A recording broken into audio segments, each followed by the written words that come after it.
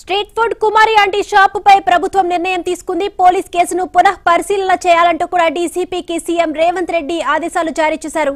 కుమారి aunty హోటల్ను అక్కడే కొనసాగించాలని traffic jam కాకుండా చర్యలు తీసుకోవాలని కోరుతూ తెలంగాణ డీజీపీని ఆదేశించారు రేవంత్ రెడ్డి. కాంగ్రెస్ ప్రభుత్వంలో ప్రజాపాలన నడుస్తుందని పేద బడుగు బలహీన వర్గాలకు అండగా ఉంటుందని స్వయం ఉపాధితో బతుకుతున్న వారికి అండగా ఉంటుందని కూడా వివరించారు రేవంత్ రెడ్డి. కుమారి ఆంటీ హోటల్ నిర్వహించుకునేందుకు విధంగా ట్రాఫిక్ పోలీసులు అనుమతి ఇవ్వాలని స్పష్టం చేశారు. ఈ మేరకు CM Revanth Reddy CPRO Ayodhya Reddy X ద్వారా పోస్ట్ చేశారు.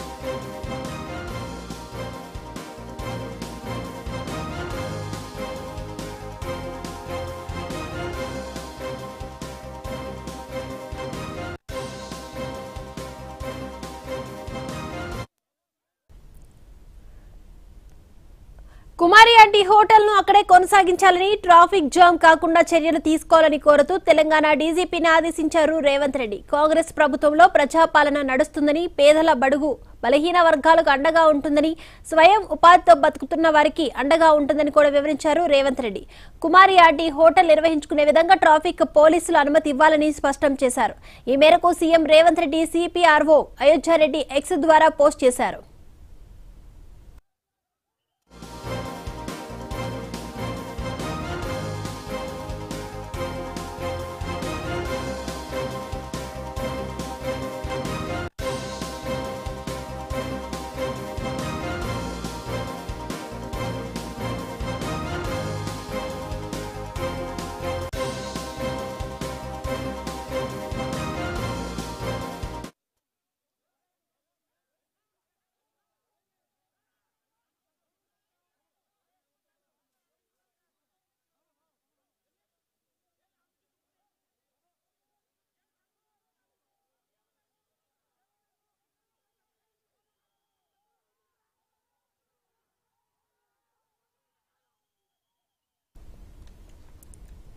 కుమారి ఆంటీ హోటల్ను అక్కడే కొనసాగించాలని ట్రాఫిక్ జామ్కు ఎటువంటి ఆటంకాలు కలగకుండా జాగ్రత్తలు తీసుకోవాలని కోరుతూ కూడా తెలంగాణ డీసీపీ ఆదేశించారు. రేవంత్ రెడ్డి ఇదే అంశానికి సంబంధించి మరిన్ని అప్డేట్స్ అందించడానికి మా క్రైమ్ బ్యూరో చీఫ్ మధు సిద్ధంగా ఉన్నారు. మధు సోషల్ సోషల్ మీడియా పుణ్యమా అని ఒక్కసారిగా ఫుడ్ స్టాల్తో ఫేమస్ అయిపోయినటువంటి కుమారి ఎవరైతే ఉన్నారో ఆమె సోషల్ మీడియాలో కుమారి ఆంటీగా చాలా పేరు సంపాదించారని చెప్పవచ్చు. అయితే రోజు రోజుకి ఆమె మీద కథనాలు ఏవైతే ఉన్నాయో యూట్యూబ్లో వస్తుండడంతో అక్కడికి వచ్చే వారి సంఖ్య ఫుడ్లో చేరుకొని ఆమె వీడియో తీయడము అదేవిధంగా ఫుడ్లో భోజనం చేసే వారి సంఖ్య కూడా ఒకసారిగా పెరిగిపోయింది. సో ఈ నేపథ్యంలోనే అక్కడికి జనాభా పెరగడంతో ట్రాఫిక్ అనే ఇబ్బందులు అయితే ఏర్పడాయి వెంటనే అక్కడికి చేరుకున్నటువంటి ట్రాఫిక్ పోలీసులు ఇక ఏదైతే ఫుడ్ కోర్ట్ నిర్వహిస్తున్నటువంటి ప్రాంతం ఉందో ఆ ప్రాంతాన్ని మార్చాలంటూ కూడా కుమారికి చెప్పడం జరిగింది. నిన్న చాలా పెద్ద వివాదమే అయింది. సో ఇంత చిన్న వివాదాన్ని కూడా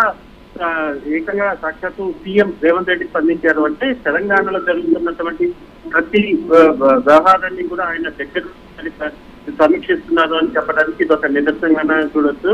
అయితే ఈ కుమారి వ్యవహారంలో ఫుడ్ కోర్ట్ ఆంటీ కుమారి వ్యవహారంలో స్పందించినటువంటి రేవంత్ రెడ్డి ఆమె మీద ఎటువంటి యాక్షన్ తీసుకోకుండా ఉండాలంటూ కూడా డీజీపీకి ఆదేశాలు జారీ చేశారు. ఎక్కడైతే ఇప్పటి వరకు ఫుడ్ కోర్ట్ నిర్వహించారో అక్కడే ఉండేలాగా కూడా చర్యలు తీసుకోవాలని చెప్పారు. అతి త్వరలోనే కుమారి అనంతి నిర్వహిస్తున్నటువంటి ఫుడ్ కోర్ట్ని కూడా సీఎం రేవంత్ రెడ్డి స్వయంగా ఆయన అక్కడికి వెళ్ళి అక్కడి నుంచే ఆయన మొత్తం ఆమెతో మాట్లాడే విధంగా కూడా చర్యలు తీసుకున్న ఆయన వెళ్ళబోతున్నట్టుగా సమాచారం అందుతుంది. ఇది ఏమైనప్పటికీ మొత్తానికి కుమారి ఆంటీ సోషల్ మీడియా ద్వారా సంచలనమైంది. ఇప్పుడు ఆమె మీద పోలీసులు తీసుకున్నటువంటి చర్యలు అన్నింటినీ కూడా వెనక్కి తీసుకోవాలని డీజీపీకి అయితే సీఎం రేవంత్ రెడ్డి ఆదేశాలు జారీ చేశారు.